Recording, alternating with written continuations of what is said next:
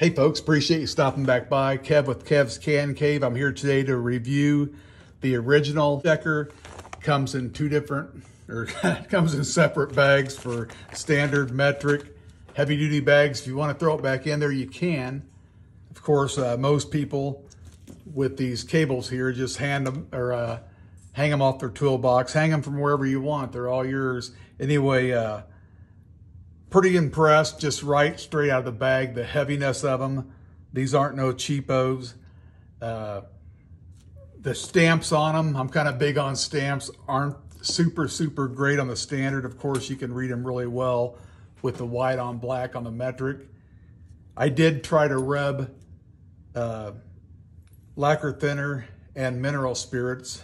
I rubbed hard on both these and the stuff didn't come off. So that kind of impressed me because I know some people are like, well, does that stuff rub off? Because I get junk all over my, all my tools. But anyway, I, I couldn't get it to rub off. I'm not, I don't know what they coated it with, but uh, the standards, it's a, it's a 32 inch stringer, if you will, cable stringer that you can hang up. And they come 23. There's 23 different sizes on the standard.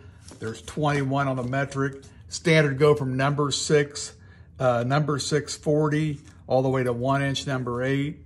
And the metric go from M3 0.5 all the way up to a little less than an inch. I'd say, probably call it uh, uh, 7 eighths is an M24 3.0.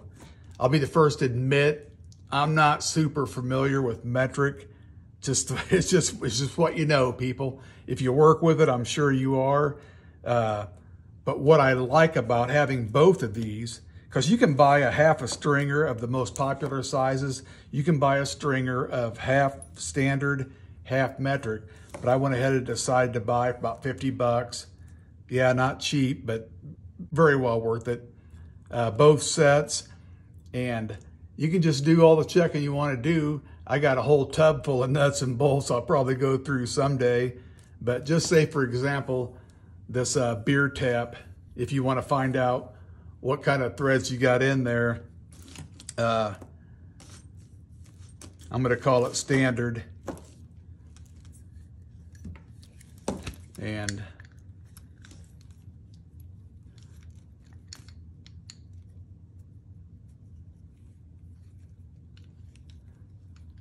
Three eighths 24 don't quite work. I think I'm in the ballpark here.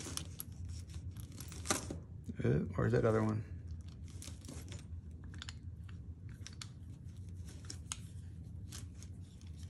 There we go. Three, I even rehearsed that one. It didn't work out too good. 3 8 16 it is. And uh, like I said, the stamps aren't super good on them, but you can read them. I put this white paper here to kind of help out. Another thing I thought was pretty neat about it is if you had an old tap that you couldn't read, a lot of them get hard to read. These are great and easy to read. But if you got one that's kind of hard to read, you can ever so carefully, because I know the threads are good on these, take it in there. And as you can tell, that's a one inch, eight threads per inch tap. That's kind of cool. But uh, where I thought having the standard and metric pays off, excuse me, is you can take a bolt like this. Let me see. You can see it's a 5 16th. So, and I, and I couldn't really read. It's, it's boogered up. It's super old. So I went to my standards and my choices on 5 16ths are a 24 thread, which it barely made it in there, and a 5 16th coarse thread, 18. So then I got thinking, okay, this is probably metric. So you can go to your metric stringer. There we go. You can tell I got these marked. I'm not very good at this stuff, but I got thinking, there we go. It's an M8 1.25 as opposed to an M8 1.0. So what that tells me, learning a little bit about metrics here, is because it goes because metrics are measured from thread to thread instead of threads per inch. This actually is considered a coarse thread in metric. And because these threads are only 1.0 apart, that's the fine thread.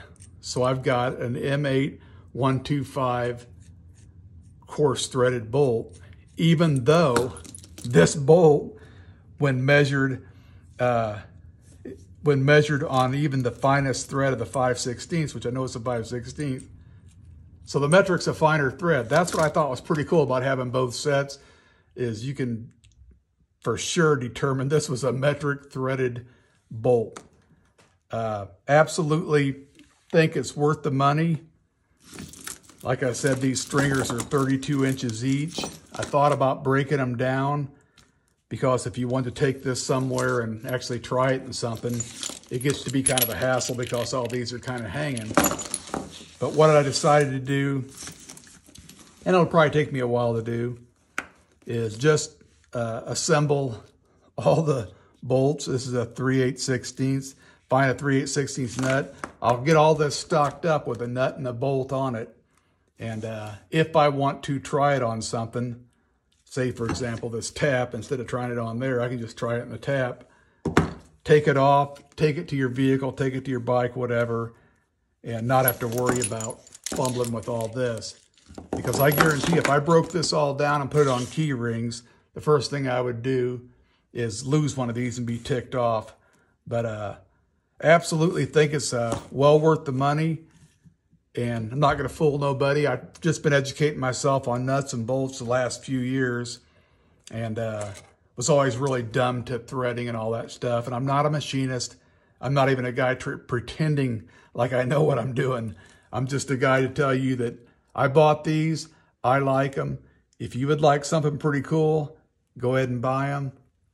Uh, they seem to help me a lot out a lot tremendously already. And uh, like anything else, it's just like you know looking at a, at a at a bolt head and knowing what size of wrench you need. You get to where you can kind of just by just by playing around with these, you can kind of tell coarse thread, fine thread from a mile away, but these are great to double check yourself. Kev with Kev's Can Cave, trying to give you good reviews on things I think will be decent in your toolbox, or in this case, hanging from your toolbox. But anyway, you good folks have a good one. Appreciate you stopping by. Appreciate all likes, comments, and subscribes.